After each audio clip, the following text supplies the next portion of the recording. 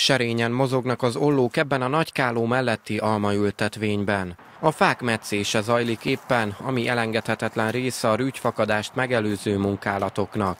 A korona szabályozása és a betegségek megelőzése érdekében van szükség a ritkításra. Ez az alapja annak, hogy később megfelelő mennyiségű és minőségű alma teremjen. Ezen a négy hektáros területen is jó ütemben halad a munka, még annak ellenére is, hogy egyre nehezebb megfelelő munkaerőt találni. Valaki már elkezdi decemberben a meccés, hogy a végére érjen. Hiszen ha már beindulnak a fák tavasszal, akkor sajnos a meccésen meg kell állni. Tehát ezt, ezt ki lehet számolni nagyjából, hogy mikor kell elkezdeni, hogy, hogy végezzünk időben. Habár hátráltató tényező az időjárás és a szakemberek hiánya.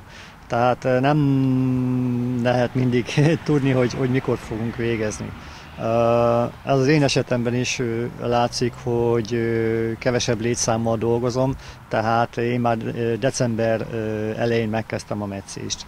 Az időjárás az nem hátráltatott, hál' Istennek ott januárban volt egy olyan egy, egy hetes időszak, amikor meg kellett állni, úgyhogy összességében úgy nagyjából úgy haladunk, ahogy, ahogy terveztem. A tavalyi év nem alakult jól az almatermelők számára. A szélsőséges időjárás sok helyen kárt okozott, étkezési almából az elmúlt évekhez képest jelentősen kevesebbet tudtak csak leszüretelni.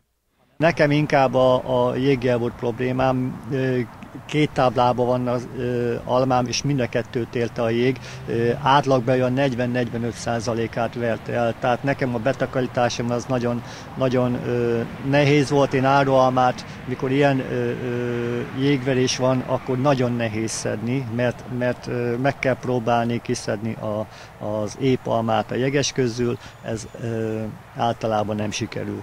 Tehát én nagyon minimális árualmát szedtem, tehát igazából 80-90 százaléka léalma, léalmaként került felhasználásra.